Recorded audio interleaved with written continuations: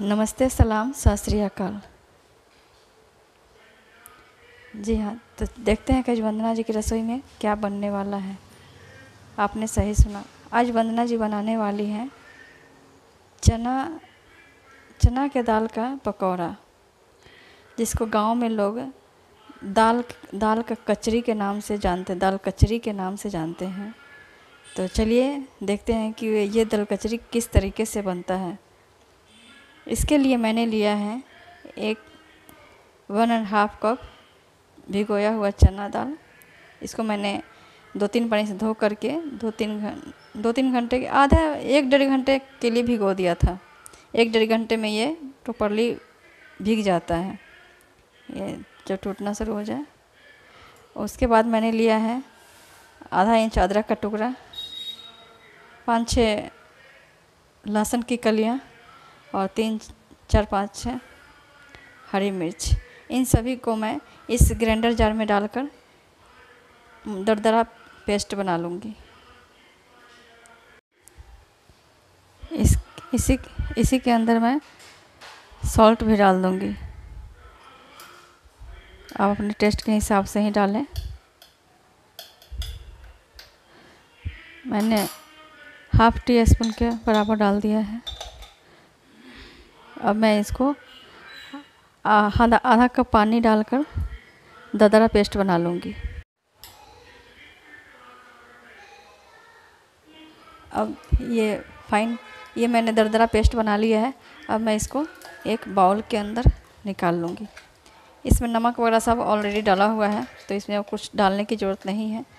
आप चाहें तो इसमें बारीक का, प्याज काट कर डाल सकते हैं। मैं ऐसे सिंपल सी दाल की कचरी बनाने वाली हूँ। ये बहुत ही टेस्टी बनती है। और दाल चावल के साथ, चाय के साथ तो इसका खान, चाय के साथ तो बना ले तो चाय का मज़ा दुगना हो जाता है। चलिए, अब मैं इसमें केवल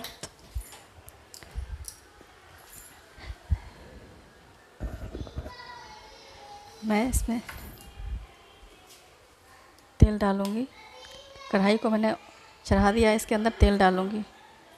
तेल जब गर्म हो जाए, तब मैं इसके अंदर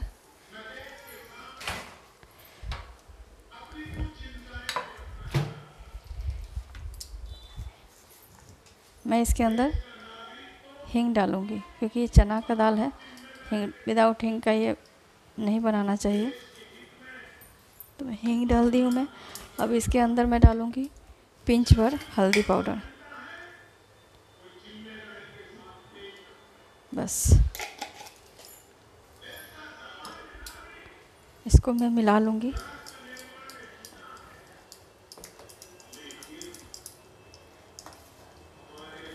अच्छे से जब मिल मिल जाए, तब इसका मैं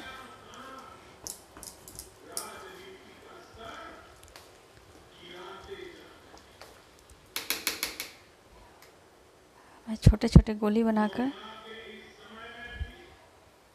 तेल के अंदर। तेल मैंने गर्म होने के लिए चढ़ा दिया था। अब मैं तेल के अंदर डालूँगी इसको।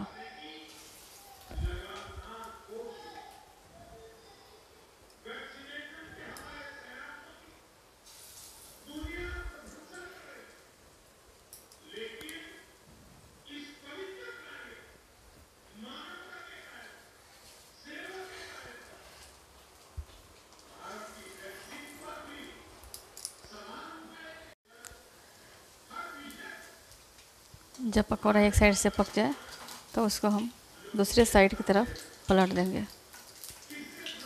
आप इसे चाहें तो डीप फ्राई भी कर सकते हैं। मैं डीप फ्राई नहीं करना कर रही हूँ, मैं सेलो फ्राई कर रही हूँ।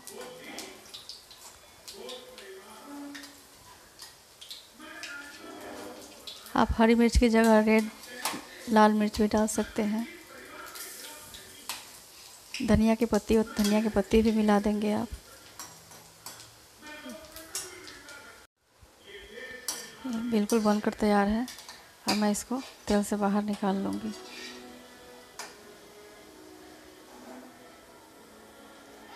इसी तरीके से मैं और भी पकौड़े को बना लेती हूँ। इस तरीके से मैं इन सारे पकौड़ों को तल कर निकाल लूँगी।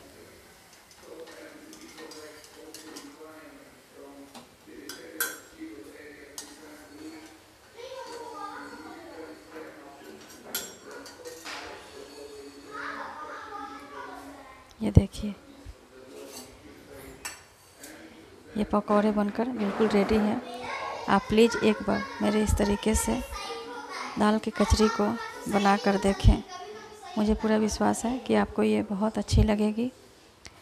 आप इसे दाल चावल, चिवड़ा का भूजा जो फ्राई, फ्राइड चिवड़ा जो होते हैं चूड़ा राइस कॉर्न, उसके साथ या फिर या फिर शाम की चाय के साथ सर्व कर सकते हैं। ये बहुत ही टेस्टी लगेगी। प्लीज़ आप एक बार मेरे तरीके से इस दाल की कचरी को बना कर देखें।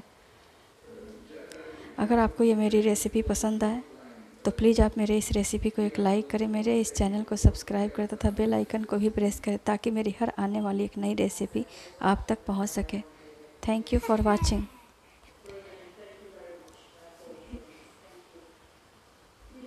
बहुत ही टेस्टी और बहुत ही हेल्दी होती है। प्लीज़ बनाकर देखें।